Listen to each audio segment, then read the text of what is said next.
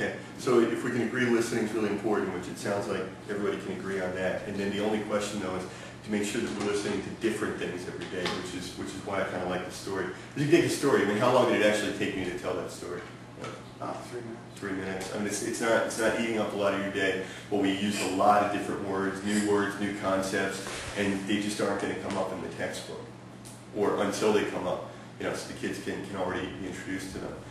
Because a lot of teachers are like, well, no, I'm talking the whole time. But yeah, but you're saying the same things you said yesterday.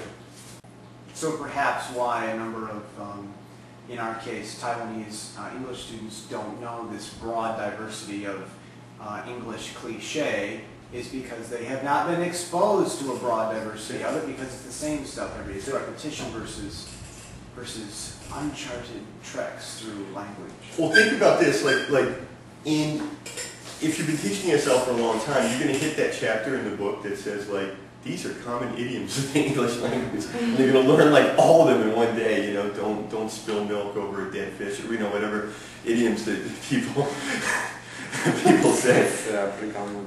Yeah, it's, it's, it's, well, it's, it's taking off. It's like baby fish now. It's taking off. But the point is that did the kids learn anything? I mean, I think that's a wasted chapter.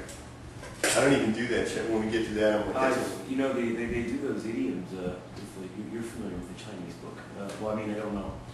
Especially like uh, at some of the higher levels, they have, uh, like they just suddenly throw like 20 of them at you. Yeah, yeah, yeah. Chinese, you're just like, sheesh, man.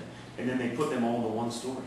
It's like Yeah. all the idioms, and you're like, okay, well, uh, I'll, it's, it's very tedious to like, to learn them in that way. If Yeah. I was given one occasionally, Exactly. there would be retention, but basically I'm like, okay, you know, I, at the, I've studied them, I'm really, uh, and it's been a while, I don't remember any of them. the most important, of them.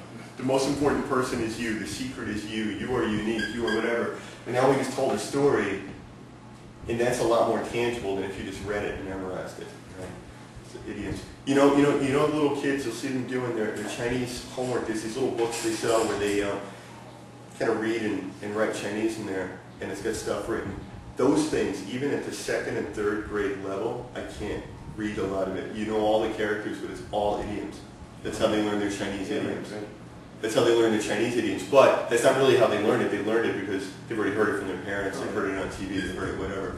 But those books, even though they're just for little kids and the characters are actually pretty simple, and I can't read most of them because it's just tons of idioms. Hey, if, if you sat in a Chinese class every day where they told stories, do you think it would help you learn Chinese? What's the hardest thing for you in learning Chinese? Learning the song of the sentences, the general sound about how things go. Yeah.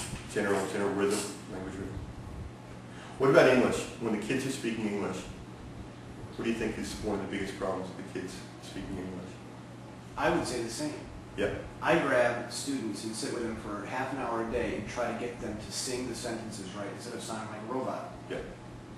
Yeah. Because, because of the Asian inflection issue, they tend to talk like this and, you know.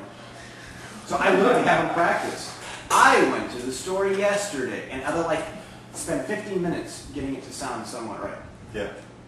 Yeah, There's on The Simpsons, they have the uh, the uh, Rainier von Wolfcastle, that's the Arnold Schwarzenegger character, and he's tra- trying out for the part of Atom Man in a movie, right? Oh, Atomic Man, Atomic Man. And Atomic Man's slogan is up and at 'em. You know, but he's German, so he's like, up and at them. no, no, up and at 'em, up and at them. But it's the same thing, it's because because the kids are trying to pronounce every single syllable and, in, and in, just like in Chinese, you want to pronounce every syllable and pronounce it the same way every single time. And then you don't have any of that flow. So where would that flow come from? How would they learn the flow and sing song with the language? Sure, sure, listen. Through listening. Yeah. We can't see the forest for the trees. So it comes back to, go back to the big picture. Yeah. Yeah, yeah. We just come, keep, keep coming back to the same thing. It's, it's listening, listening, listening. And then number two is reading. Because it's all about input. It's, it's, it's not as much about output. Output can come later. Thank everybody for, uh, Thank for, you. for indulging me. Thank you.